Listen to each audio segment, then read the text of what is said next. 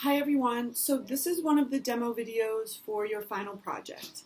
Now the final project has a couple steps. Um, I wanted to do it that way so we um, can kind of check in as you complete each step. So in the first video I went over how to make the thumbnail sketches. You're going to submit those to me first and then um, you're going to then complete the final drawing based on one of your thumbnail sketches. Now in the assignment, I asked that you tone your paper, and you've already done this, but I'm just going to go over it again. And I'm just going to go over the materials you need for the final project, as well as a couple exercises we did earlier in the semester that you can refer to to help you with this. So for the materials, you're going to want to use your white eraser.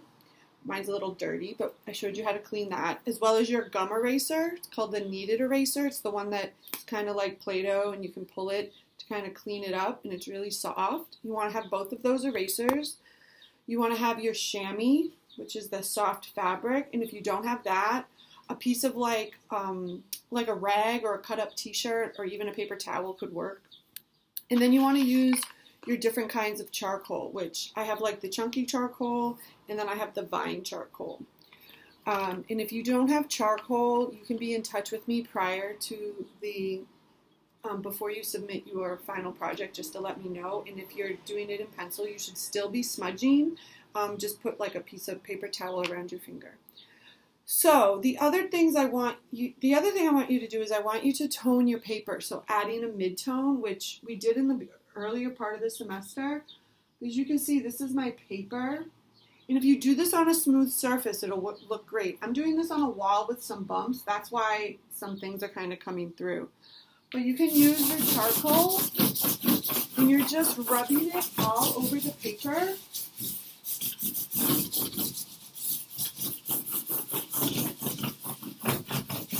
Now you can see all the bumps that are coming through. That's just because my wall in my studio has like dry paint and things on it, and that's the only reason why that's happening. If you do this on a piece of cardboard, it'll be smooth.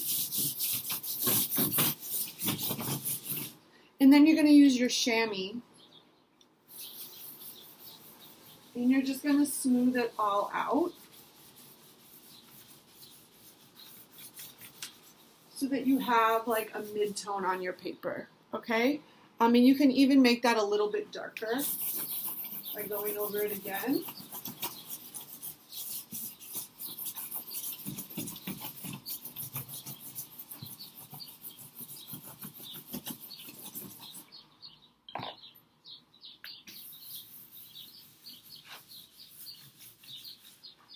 So you're just covering the paper.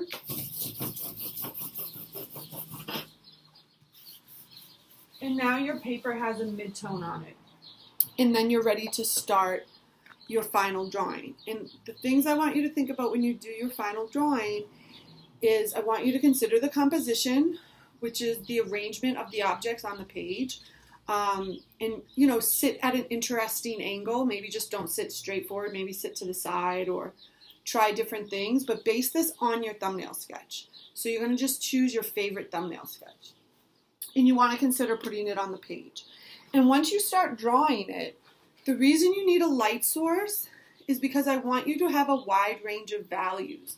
And the values you remember is like the dark to the light, which we did um, earlier in the semester. So you want to have a range of these grays as well as a lot of darks as well as a lot of lights.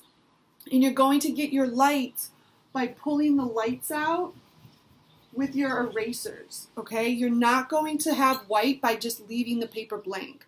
Do not leave the paper blank. Fill the paper with charcoal, and in order to get a white, white highlight, you're going to pull it out with the eraser like I just did there. And the other thing you're going to refer to from earlier in the semester is your texture chart.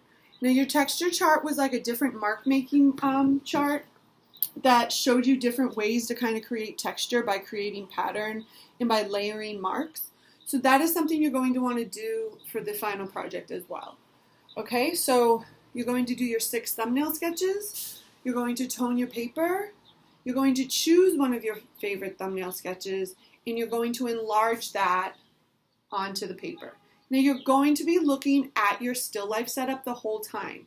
You're not drawing your thumbnail sketch, you're drawing the setup, okay? And make sure that you have some type of light source on it. Um, even if it's like putting your flashlight from your phone nearby and like shooting the light onto it, just so that there's some dramatic effects, okay? And so we'll talk more about this on, on Blackboard Collaborate.